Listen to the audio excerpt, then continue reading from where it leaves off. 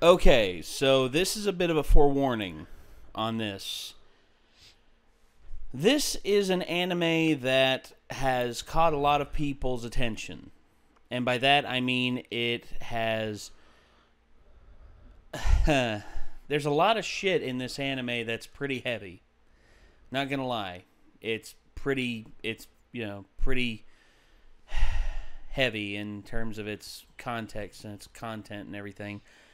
And um, the name of this anime is, of course, Goblin Slayer, which I told Nick about, and I heard people talking about the opening, the opening episode of this, the first episode, and um, from all intents and pur- for all intents and purposes, a lot of people say that this anime is the, it's the pretty much the 18 plus anime that a lot of people have been waiting for. You know, there's been anime that have come out that have been like the super edgy stuff, you know, it's like like it's ones that from what a lot of people have said is trying too hard.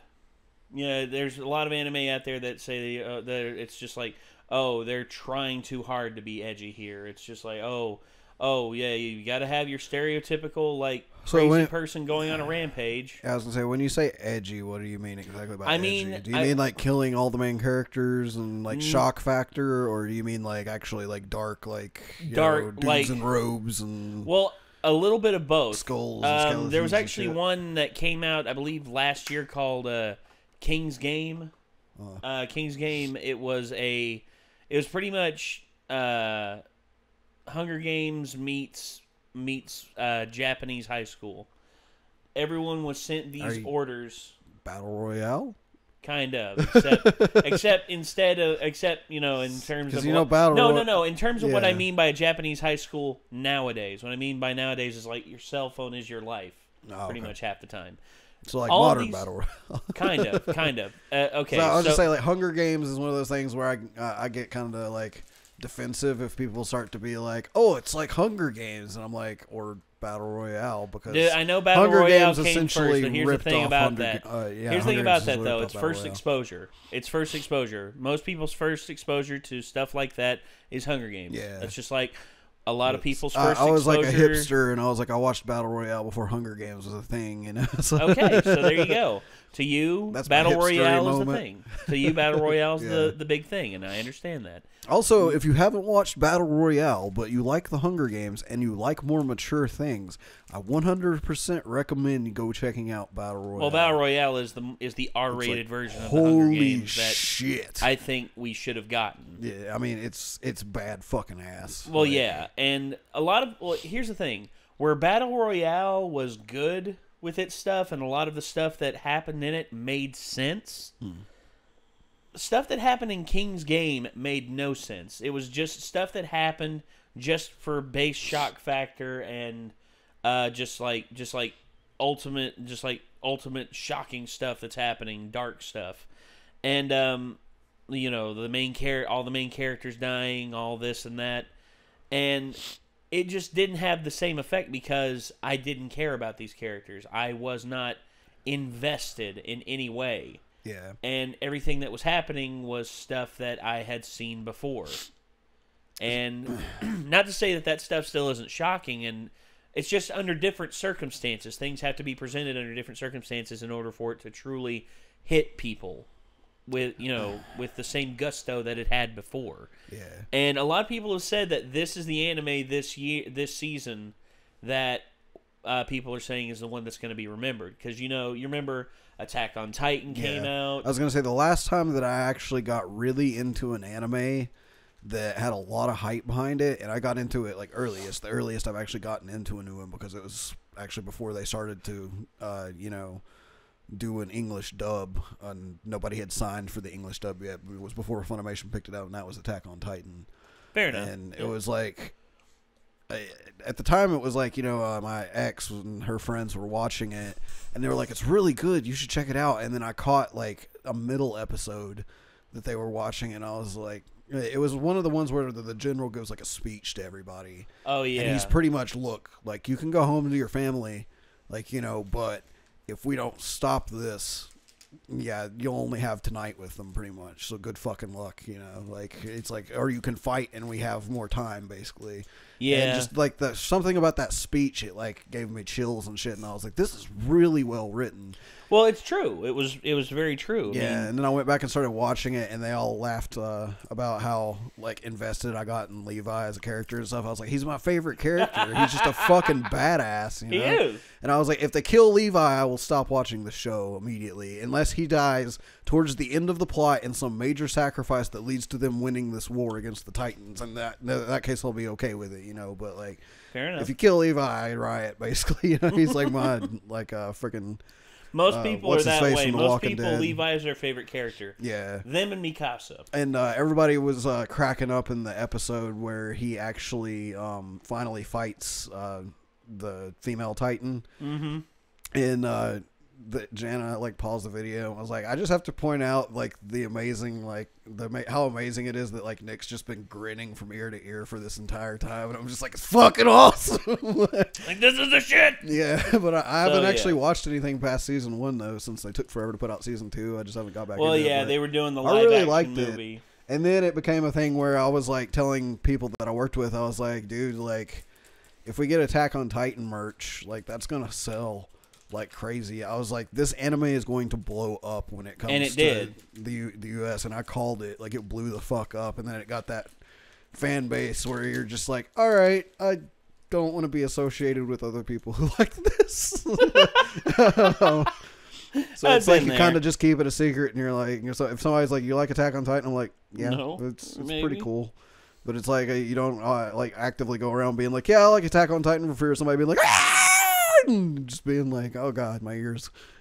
You know? Yeah, it. I, I've been there, and um, honestly, dude, I you know every year, every year has that anime that nobody will stop talking about, and this one so far has been the one this season. You know, every season has its highlights. yeah.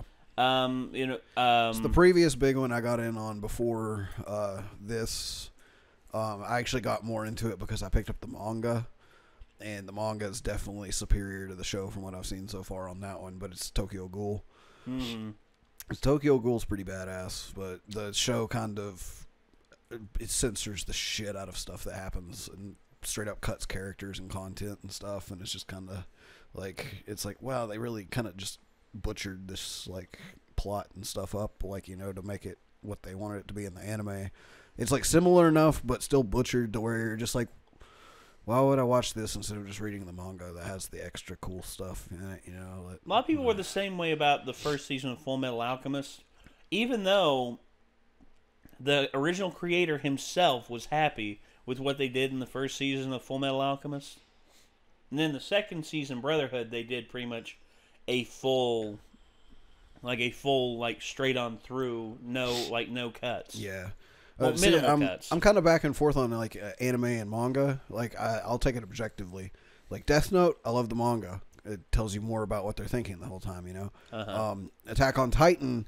Everybody was reading the manga and reading ahead, and they're like, "Oh, you won't believe what happens." I'm like, "Don't fucking tell me about it." I don't want it spoiled for me when it gets to the show. You know, when Mm-hmm. it like the show is got the music and the animation and you know the voice work and everything was like so good that I was like, I want to see it in full motion and see it actually happen. I was like, I'm not gonna read ahead, and everybody was like, you should just read ahead, and I'm like, why would I read ahead and spoil it for myself? I'm so invested in this anime, dude. I was like, no, like I, I want to know what happens in the anime. I want to see it in animated form. So I would only go back and read the manga after I had seen that part in the anime, you know, just to see what differences there were. There are some pretty cool little differences there. Like the manga is a little more gory, yeah, but like for the most part, the yeah. anime's animation and sound and everything makes it so much more worth it with Attack on Titan. there you go. Well, Same thing with Bleach. okay. Bleach's music style and the animation, seeing the fights actually play out in full motion is badass. Mm-hmm. know, they're really similar to each other. like at least from what I've read of the manga, they're really similar. But There you are. Well, we have the uh, we have the first episode of uh, Goblin Slayer queued up here. Just as a forewarning, I I put at the beginning of this episode, I put a uh, I put up I'm gonna put up a little thing. mature content warning type thing. Yeah, kind of. Yeah. So just as a forewarning. So everyone out there, This is uh, rated mm, uh, M for mm, if you're young, you probably shouldn't watch this. shut up, Butterbuns. all right, I so just like that intro. It's a good intro. so all right, we got queued up here. Let's see what happens.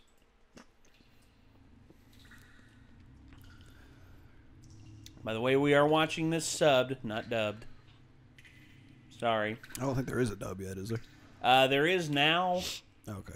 but you have you've received a party invite. it's, like, yeah. it's like, hey, want to join our guild? As soon as you make your character, like, I, I just started this game.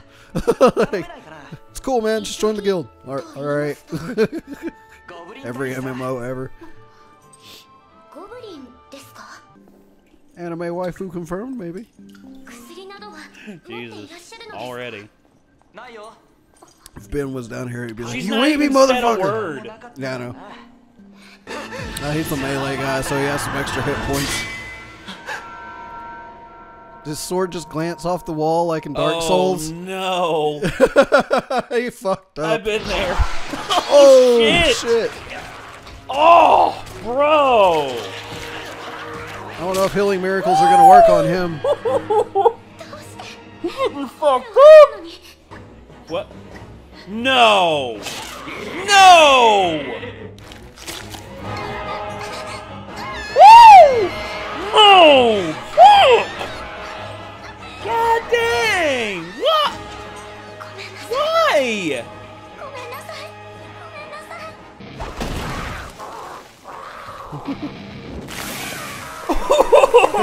oh! Damn! Wait, what?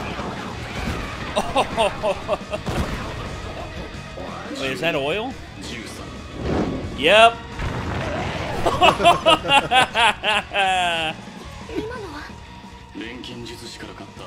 oh, gasoline.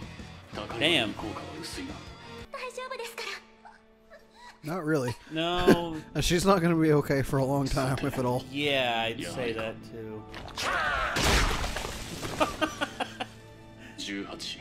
he's seen too many. He's seen one too many horror movies. He knows what's up. Mm-hmm.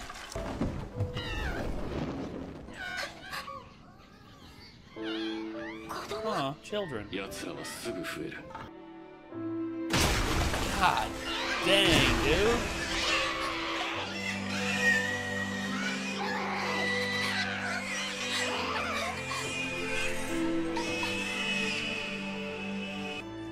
Is that that guy's a badass? Who, Goblin Slayer? Yeah. She's like, I know two things. One's I'm still an adventurer, and two, that guy's a badass. Chainmail. That's good. Fair enough. Damn. There's some pretty hardcore shit in that, dude. Yeah, I mean, I mean, he him slaying the kids and everything. And I'm surprised this is as popular as it is. Really? Yeah, because um, just in today's climate, people are like, it's completely unnecessary to depict horrible things like rape and stuff like that. well, And it's like, keep in mind, dude, this is Japan we're talking about. Yeah, yeah. Whereas they are not as beholden to sensitivity like we are here in the states. Mm. I mean, don't get me wrong. You know, there's people. You know, there's. I guarantee you, there's a lot of people who are you know writing in angry letters about this episode. But that's the thing is, it's like it's horror, and the point of horror is to horrify you, hmm and rape is a horrifying thing. It is, And and it's like if you're going to depict things that truly scare people, why are you going to say that you have to censor out some of the scariest things in life? Well, it's because people feel that they shouldn't be exposed to that. It, here's my thinking on the whole thing. It's like it, people should be sheltered, and then they should be, you know, completely like Unprepared. yeah, unprepared should something horrible actually ever happen to them. Basically, it's like whereas like that's the thing is like the reason soldiers are such badasses in like real militaries like our military and Russia's military, et cetera, and stuff. You know, is that to an extent they're desensitized to stuff. like, Yeah. and, into horror. Like some of them aren't, and that's why you know, they come back completely fucked up, like from stuff that they witness and everything. But Well, well, yeah. I mean, like the true uh, badasses are the ones that don't let themselves be like shaken by the horrors of the world and pretty much. yeah. So, It, I don't know. I had a I had a friend who served. Uh, he served um, in he served in the military, and then later on he actually did work in uh, the Peace Corps and everything. He saw horrible things when he was stationed in Iraq. You know, he saw these prisoners of war, these POWs, Iraqi police who had been kidnapped by the by the terrorists and had been dismembered, and he had to clean that up. He actually talked about one. It was a family of four, including uh, it was a father. It was a, a man, his wife, their six year old da- their six year old daughter, and their six month old son. All had been all had been executed using det cord and to me that is some of the most heinous shit I could ever think to witness. Mm-hmm. And not only did he witness that and come like he'll tell me about this stuff as non as nonchalantly as like you telling me about how uh, how you had a how you had a good practice today Yeah. and it's because he's desensitized to it and you know people think of that as him being a monster no yeah, that's they just think of that as a, like a bad thing. No, it- it's it- like you have some to of the because- people that protect us have to be desensitized to that type of thing in order to be able to offer the protection that they do. Yeah, and uh, and he during his work in It's the like- Peace Corps, he go ahead. It's like this Goblin Slayer guy, you know. Like, Yeah. In order for him to be able to do what he did to protect that girl and to save the other girl, he has to be desensitized to this horrible shit and be able to be like, yeah, it's better to put this girl out of her misery because she's already dead and she's suffering anyways. That's a horrible ass thing to have to kill another human to save them from suffering, basically, because that's the only option remaining. Like, well, he did it like it was nothing, pretty much. Yeah, and my uh, but Also, my I'm already mad because they killed the witch. they killed the cute witch. It's like everybody's probably laughing at me because I was like, "That's like the cute girl." That like I would be like, "Hey, you're cute," and they're everybody who's seen the episodes already like, "Ha ha ha ha ha, ha, fuck you." well, the series is just getting started, man. I mean, who's to say they won't pick up more party members along the way? Yeah. I mean, uh, They're just like, "Why'd you have to make the witch you were gonna kill in the beginning so cute?" Because that's why you got Yeah. invested in. You got invested into her character. You because hey, Yeah, because she didn't even say kawaii. anything, and it already made it horrible. Well, she didn't say anything other than her fireball spell, and it still made it like, no, god damn it, no, like that that early into the series. Well, yeah, I mean it, and uh, back on the subject of like horrible things happening. Um, um, my friend, he also when he was in the Peace Corps, he went over and he witnessed uh, some horrible shit in uh, in uh, you. Uh, no, not Uganda. It was a. Um, it was it was the Congo, and um, there's a very bad problem in the Congo with with gang rapes, and it's military and. Uh, it's military and um, you know um, rebels all taking out their frustrations on villages that they think are loyal to certain causes, but instead it's just villages full of people just trying to live their lives. Yeah. And he witnessed a sea. It was pretty much a sea of bodies, is what he described it as. It was nothing but a bunch of children who didn't have parents that were sleeping in hovels in the city uh, to protect against uh, to protect against the rebels trying to you know trying to steal them and make them into child sol- children soldiers. Yeah. And when you realize just how bad the world still is in certain in certain places, and I hear about all these people complaining about their first. That's just like, you know, I I complain about some shit, but whenever I try and pretend that my life is terrible, I imagine other people's lives out there and what they're living in. And you know what? People and people I've heard I actually heard somebody say this and it about made my it about made my stomach turn. A person said a person said this. They said they said, oh, you're going to tell me about all these people out there, about there out there who have all these horrible things happening to them and all this and all that. You know, you know, like kids in African countries who are forced to shoot their parents and all this and all that. It's like, and I'm like, well, yeah. I mean, you think about their lives, and they're like, it's like, uh, and they actually said, but that's not me. That's not me. And I'm like, I know. I'm trying to make you realize that that that's not you. That it makes that you are way better off than most people out there. A kid who is in that situation would gladly sacrifice anything that they had, any body part that they had to trade places with you right now. Yeah. And they were just like, were Like, I don't necessarily think about stuff like that per se, but sometimes when I feel really bad about myself, I'm just like, well, it could be worse. At least I'm not strapped to a chair somewhere with somebody pulling my fingernails off. Well, yeah. crap like that. Well, the, but you see, dude, the, there's pro there's something I always I learned, and it made me realize just how good my life is.